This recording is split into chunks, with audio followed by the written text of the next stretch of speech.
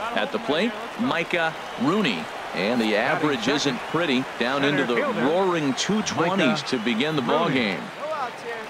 The 0-1 on its way. Fly ball out toward left center field. Calling for it. Franchise. One out. Now a long throw home.